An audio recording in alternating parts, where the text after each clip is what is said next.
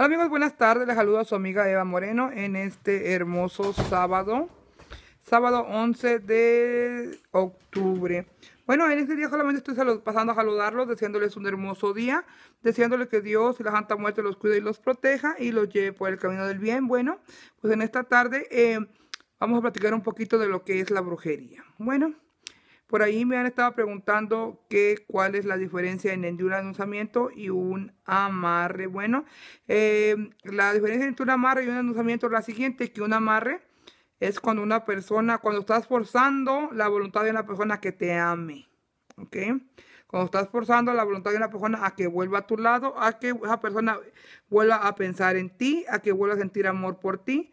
Y bueno, a veces eh, se fuerza personas que nunca te han amado, una persona que nunca ha sentido nada por ti y que la estamos forzando a que en su mente piense y sienta como que te ama, como que te quiere, porque por ahí en otro video les expliqué que no hay un brujo en el mundo, no hay una persona en el mundo que pueda hacer que otra persona te ame. Pues jugamos con la mente de las personas para hacerlas sentir que como que estuvieran enamorados, o sea, los mismos síntomas pero todo es mental porque jugamos con la mente de la persona. Nadie puede hacer que en el corazón de otra persona nazca amor por ti. Bueno, eso es un amarre. El amarre, un amarre bien hecho, se eh, dura, es de por vida. O sea, no es que, ok, hágame un amarre hoy, en dos o tres años ya el chico o la chica ya no me gusta, ya no me interesa y bueno, adiós, me busco otro. No un amarre de por vida. Por eso siempre cuando vienen conmigo a pedirme un amarre, les digo, ¿estás seguro de lo que quieres hacer? ¿Estás seguro que es a la persona con la que quieres estar el resto de tu vida? Y, pues a, lo mejor se les caigo gorda porque siempre les estoy preguntando lo mismo, pero eh, tengo que estar segura, no se puede hacer una cosa a la ligera. Eh, un endulzamiento es cuando ya, digamos, que esa persona siente amor por ti, que te quiere. Digamos, podemos ver un ejemplo que tu esposo o tu esposa eh, vive contigo, está, eh, te, te, quiere, hay amor, pero es muy peleonero, muy renegado, todo el tiempo se la pasa alegando contigo, peleando. Y pues hay que quitarle esos malos genios. Bueno, entonces hacemos un endulzamiento para que esa persona eh, se controle su forma de, de, actuar contigo, la forma de cómo se comporta. O que de repente tu marido ya no te quiere como antes o ya no te cuida, ya no te mima como antes, ya sientes que hay un pequeño un alejamiento de esa persona que se está distanciando de ti. Bueno, entonces cuando se hace un endulzamiento, porque un endulzamiento lo que hace es revivir los sentimientos que ya existen. ¿Ok? otra cosa que, otra pregunta me hicieron por ahí, ok, me hicieron otra pregunta. Eh, oh, sí. Me dijeron que si hay consecuencias cuando se hace un trabajo. Bueno, siempre hay algo de consecuencias. Eso lo, en todo lo que haces, todo lo que toda acción hace que haga una reacción. O sea, todo, todo, todo lo que haces trae consecuencias en la vida, todo. Recuerda que muchas veces muchos de ustedes me preguntan eh, que antes de comenzar a hacer sus trabajos, yo les, yo los leo las fotografías, me mandan fotografía y por medio de la fotografía yo puedo conectar con tu espíritu o el espíritu de esa persona y te digo, mira, esta persona no es la adecuada para ti, esta persona no es la que el destino tiene para ti, pero muchos de ustedes se aferran y me dicen, no, no me importa, yo quiero estar con esa persona, yo quiero ese hombre o esa mujer y me vale, haga que se enamore de mí. Bueno, esos trabajos duran un poquito más de tiempo y son un poquito más uh, laboriosos porque porque recuerda que estás rompiendo el destino no solo tuyo, pero de cuatro personas. Cuatro personas, estás cambiando el destino de cuatro personas. ¿Por qué cuatro personas? Bueno, porque digamos que el hombre que quieres amarrar tenía destinada a una pareja. ¿Ok? Entonces estás cambiando el destino de ese hombre de la mujer, que era la mujer con la que tenía que estar ese hombre, el de, ti y del hombre que era el para ti, que estaba destinado para ti. Entonces estás cambiando el destino de cuatro personas. No es un trabajo de dos días, tres días, estás cambiando el destino de cuatro personas. ¿Que va a haber consecuencias? Sí. Recuerda, no estás haciendo enchiladas, mi amor, estás cambiando el destino de personas la vida y el signo de personas. Estás dejando ir el hombre o la mujer que era la tuya, que era la que a ti te correspondía, porque te estás amachando con una persona que no te corresponde. Pero bueno, yo no estoy aquí para juzgar a nadie, solamente soy su bruja. Me mandas a hacer un trabajo, te lo hago. ¿Ok? claro, es mi, es mi responsabilidad decirte y explicarte las cosas como son. Y bueno, por eso estoy haciendo este pequeño video, porque por ahí me están preguntando mucho esto. Em, que si hay que, ustedes tienen que creer en la Santa Muerte. No, no es necesario que creas en la Santa Muerte para mandar a hacer un trabajo de la Santa Muerte.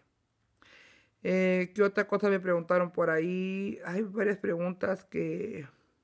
Oh, sí, sí, sí. Que me dicen a veces, me dicen... Ay, fíjese que fui con una que me leían las cartas y me dijeron que estoy salada, que estoy... me hicieron una brujería, una hechicería. Bueno. Y me, dijeron por ahí que, que estoy... Me hicieron una brujería y que me enterraron en el panteón. Bueno, en el momento que te dije una pendejada así, perdón la palabra, una tontería, una pendejada, porque ya no es tontería, es una pendejada.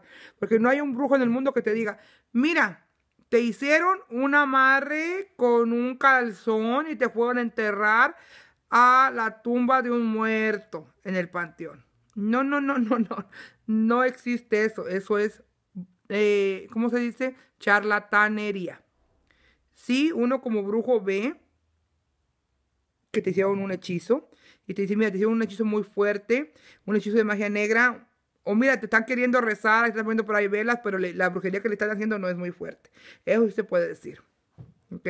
Y te lo hizo una persona cercana a ti, más o menos entre 30 y 40 años, no sé, color de piel oscura, de piel joven, una persona muy cercana a tu pareja, o te la hizo una, una persona que tuvo, que, que una, alguna algún compañero sentimental que tuviste antes, que se enojó porque lo dejaste, todo eso sí, verdad, todo eso se puede decir. Pero en el momento que te dicen que lo hicieron así y así y así, que usaron sangre y que usaron un calzón o que usaron magia, magia, este, que con, con, ah, tus cabellos, que te Mentira, ahí ya no es cierto. No se puede decir eso. Te puede decir, te hicieron una magia, una brujería, un hechizo para salarte, para que se te retiraran los amores, para que nunca pudieras conseguir un hombre o una mujer. Eso sí, créelo, porque hoy te lo pueden decir. Pero cuando te dan detalle por detalle qué tipo de brujería te hicieron, ya te lo están inventando. Ahora otra cosa que es muy importante, y esto sí quiero que me pongan atención. Muchas personas me han dicho, bueno, pero usted, ¿por qué em, me dice, eh, ¿por qué soy tan sincera en otras palabras? Porque yo no gano nada. Recuerda, tú, cuando mandas a hacer un trabajo conmigo, no me estás pagando. Yo no estoy ganando nada de ti, ni de ti, ni de ti, ni de ti, ni de ti. Porque lo único que, que envían para ustedes es para los gastos de sus materiales. Así que yo ni gano ni pierdo nada cuando soy sincera y les digo sus verdades.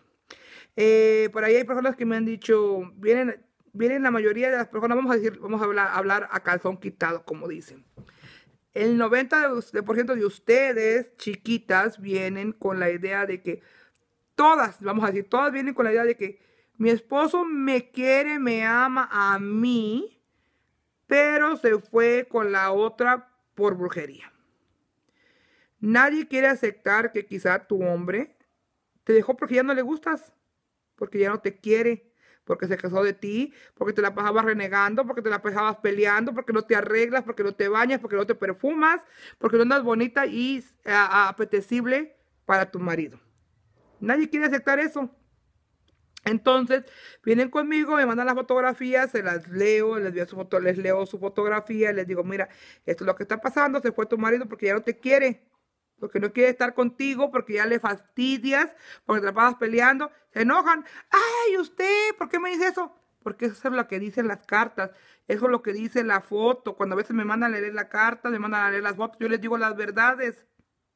Soy bien sincera, no te voy a mentir, porque, mira, donde quiera que vayas, a los, digamos que el 99.9% de los brujos, hechiceros y chamanes, donde quiera que vayas, te van a decir inmediatamente, Sí, mi amor, él te quiere, te ama a ti y se lo llevaron con brujería. ¿Por qué te dicen eso? Porque es el único modo que tienen esas personas para sacarte dinero. Porque te van a decir, sí, fíjate que sí, se fue, se fue, se lo llevaron con brujería, pero él te quiere a ti, quiere estar contigo, así que te cobro tanto y te hago un trabajo de amarre para que vuelva contigo. Te están mintiendo porque te quieren sacar dinero. Yo te digo las cosas como son. Mira, tu marido se fue, eh, porque ya no te quería. Pero no te preocupes. Podemos hacer que tu marido vuelva a sentir amor por ti, que vuelva contigo, que venga contigo, que se vuelva a enamorar de ti. No hay problema. Pero tengo que ser sincera. ¿Ok? ¿Por qué les digo esto? ¿Por qué me doy el lujo yo de decirles las verdades? Porque muchos de ustedes se enojan y me cuelgan y se van. Ni modo, las cosas son así, mis amores. Yo no voy a mentirles. Soy bien sincera. No gano nada ni pierdo nada. Yo solamente les digo las cosas como son. La mayoría de ustedes quiere que les digan lo que ustedes quieren oír, pero desgraciadamente pues no, o sea, vienen a pagar una consulta de 35 dólares por la leída de las cartas y quieren oír lo que ustedes quieren oír, no, vienen a, vienen a oír las verdades, vienen a que les digan lo que las cartas quieren decirles. ¿Ok? También hay por ahí muchas personas que, que, que ustedes que, que, se cuiden, que no se dejen que los roben y los estafen, por favor. Mira, donde quiera que vayas a que te lean las cartas, donde quieras que vayas a consultar con un brujo o un hechicero, te van a decir lo mismo porque es el modo que ellos tienen de sobrevivir, de sacarte dinero. Ellos trabajan de este modo. Miren, que van y viene una persona que mire que, que perdí el trabajo, que me está yendo mal, que sí, mi amor, te salaron, te saló tu vecino, tu suegra, tu pariente, el de la esquina, o sea, te hicieron una brujería, te salaron, pero yo te voy a quitar la mala suerte, yo te voy a quitar la hechicería que te hicieron por tanto dinero. Y quizás no es cierto, quizás simplemente es que estás pasando por una mala racha, que tu aura, que tu espíritu está lleno de energía negativa y lo único que necesitas es hacerte una buena limpia, hacerte unos buenos baños y se acabó. No hay jalación, no hay brujería, no hay nada. Simplemente que tu aura está cargada de negatividad y hay que limpiarla. Y bueno, yo me doy el lujo de decirles estas cosas porque, pues como les digo, yo como yo no cobro, yo no cobro por mi trabajo, yo solamente les pido que envíen para los gastos de sus materiales y no les digo cuánto manden. Ustedes mandan lo que ustedes quieran, porque por ahí hay muchos brujos hechiceros que dicen, ay, yo trabajo con lo que, yo, yo no cobro, manda, ah, solamente manda para los materiales y son 250, 300 dólares. ¿Verdad, Madina Bruja? que ahora ya dice también, como yo todo el tiempo le digo a ustedes que no cobro, ahora ya los nuevos, en los nuevos mensajes que le están mandando a las nuevas personas, dice, yo no cobro, yo mi trabajo me lo vas a pagar cuando veas resultados, pero para los materiales son 250 o 3 mil pesos, 3 mil 500 pesos, 250 dólares o 3 mil 500 pesos. Pues les estás cobrando, chulita, no te engañes ni quieras engañar a la gente. Aquí yo no les pido ni un centavo cuánto mandar. Ustedes van a mandar lo que ustedes quieran. ¿Ok? Lo que ustedes quieran, pero tampoco no se salgan, porque por ahí unos mandan 16 dólares y quieren un amarre de haber caminos o una, un levanta negocios o no sé. Las cosas no, o sea, yo no les cobro, pero no sea, no, tampoco, no sé, no se pasen. Pero bueno, vamos a dejar ese para otro, esa, esa plática para otro lado.